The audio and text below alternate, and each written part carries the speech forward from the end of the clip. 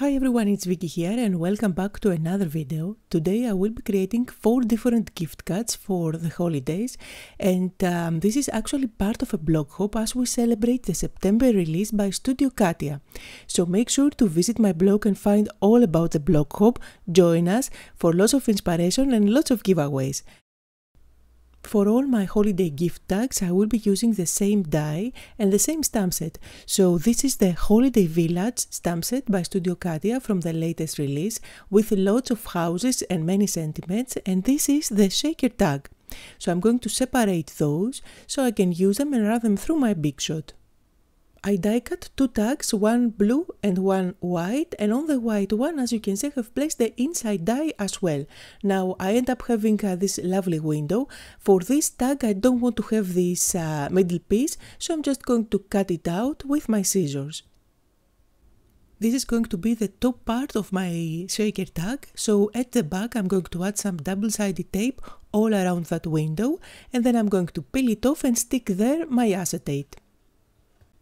Now this die is very versatile because you can use it all year round to create gift tags and uh, you don't really need to make uh, shaker cards. You will see that I am going to share today four examples. Two of them are going to be shaker cards and the other two are not. Now before I go ahead and put everything together, I need to stamp uh, the sentiment at this stage because before I add too much bulk. So I'm going to stamp one of the sentiments from the stamp set that says Holiday Wishes. And now I'm using my foam tape and I'll go all around that window at the back, making sure that I don't leave any gaps, otherwise my shaker mix is going to fly away. I have stamped three of the buildings from the Holiday Village stamp set and now I'm using my alcohol markers to color everything. I am actually using my Nuvo markers here, but of course you can use your favorite coloring medium. I did some very basic coloring here, didn't add too much detail, and once everything was ready I used the matching dies to cut them out. Now I am going to give a try to a new glue to me, which is by Studio Katia. This is a white glue in a pen with a very fine tip. I like that you don't have to push too hard to squeeze uh, the glue out of this uh, pen. And um, it actually bonds nicely and it dries really quickly. So I'm going to put everything together here. Now this design doesn't uh, shout Christmas, so it can be used for other occasions such as a winter birthday for example. So depending on the sentiment that you stamp, it can be used for more occasions. As a shaker element, I'm going to add uh, Studio Katia iridescent ice flakes. These are really gorgeous. They are so shiny and they look like flakes. So they are going to make my snow actually. But I wanted to add some uh, random dots all over the place at the background. And I'm just using my fine Posca pen here. And then I can place the window on top. You can use the opening at the top of this tag to thread some ribbon or uh, string and your tag is ready.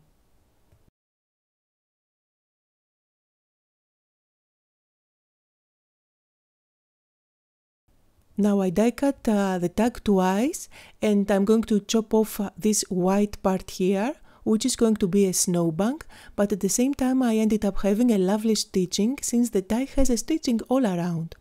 Now I'm going to stick this at the very bottom of my tag and it's going to turn into a snowbank.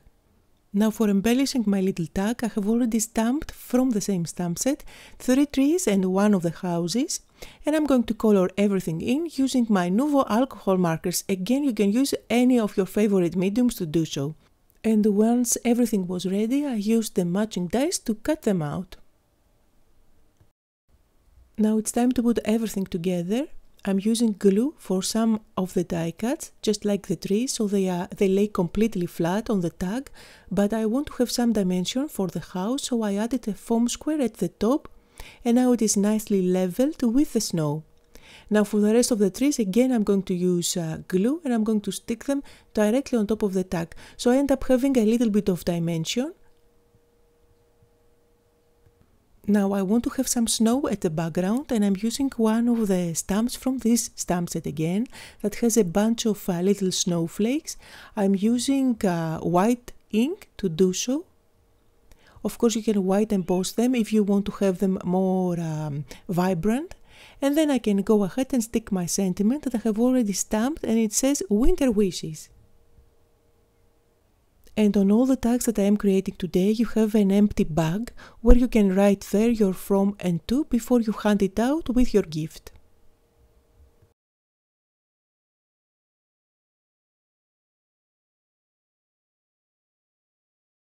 Now let's make another shaker card. Again, I used the same process as I did for the first card, but this time I used this white glitter paper as well as red for the backing. I am going to stamp holiday wishes at the center of my tag. This is uh, stamped with Versamark ink and then I'm going to apply white embossing powder and heat set it. And this is the perfect mix for all your Christmas shaker projects. It's by Studio Katia and uh, it's their Christmas confetti.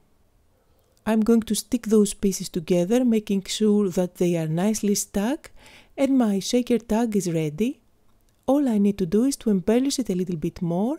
I'm adding some red ribbon and I'm also going to wrap it around with uh, this um, floss and I'm adding also a little uh, gold jingle bell.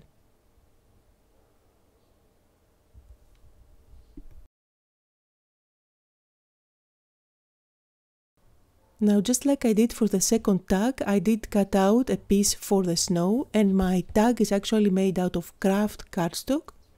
Now I'm chopping one of the sentiments. I really don't mind cutting out the sentiments. This way I can place them in any way I like. So here instead of having it in a straight line, I can uh, place it in three different lines and it can fit my tag. You don't have to cut out your uh, stamps if you don't want to, but uh, it gives you more flexibility. So I am stamping my sentiment with Versamark ink and on the other piece of uh, kraft cardstock I'm going to stamp one of the houses from the stamp set. I am then going to apply white embossing powder and heat set everything. I used the matching die to cut out the little house and now again I'm using the snow from the stamp set to add lots of snow at my background. The white ink that I'm using is by Colorbox and um, it's called Frost White. You will find it linked down below along with all the rest of the supplies that I'm using today. It is a pigment ink though, so you need to make sure that you don't smudge anything. It takes a while to dry. And now my snowbank is in place. I'm going to stick the house as well by using some uh, foam tape at the back. And I really love this uh, color combination of white and kraft for winter projects.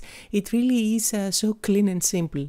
Now to embellish it a little bit more and to add some shine on my project, I'm going to add three of the iridescent flakes